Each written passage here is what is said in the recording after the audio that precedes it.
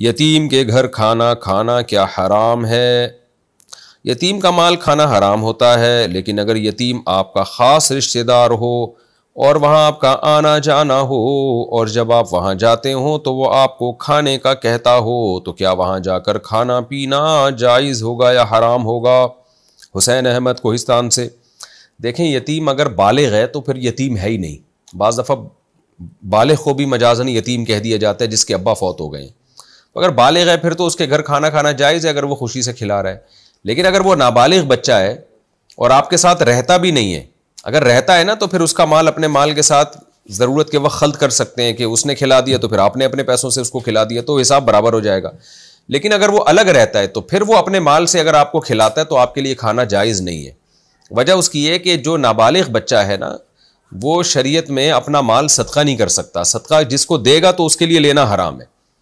तो और अगर वो बहुत इसरार कर रहा है आपको खाना खिलाने पर तो और आपको ख़तरा है कि दिल टूट जाएगा खाना खाए बगैर हम गए तो फिर आप खाना खाएँ और किसी हदिये के नाम पे ना उसको वो रकम लौटा दें। अगर वो यानी उसको तो शर्म आएगी लेते हुए तो बाद में कोई गिफ्ट की सूरत में लिफाफा दे दें उसको, ताकि जो आपने खाया है उसका मुआवजा उसको मिल जाए। जब तक वो बालिग नहीं होता तो खूब समझ लें, हर एक के लिए उसका माल जो है वो हराम है। उसके माँ बाप के लिए, उसकी सॉरी माँ के लिए भी हराम है, बाप तो फौत हो गया उसका। माँ के लिए भी जब हराम है तो और किसी और के लिए कहाँ से जायज़ होगा?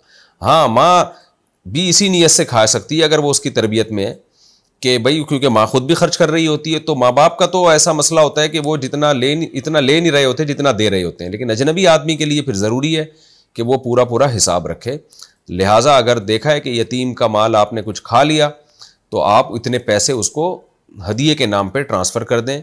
या लिफाफे में डाल के बाद में दे दें एन उसी मौके पे ना दें, वरना उसकी बेज़ती होगी कि मेरी दावत की मुझे कीमत दे रहे हैं। बाद में उसको कोई गिफ्ट की सूरत में दे दें कि भाई ये मैं आपको गिफ्ट देना चाहता हूँ, ताकि उसको एहसास ना हो, वो ये ना समझे कि मेरे खाने के पैसे वापस कर रहे हैं।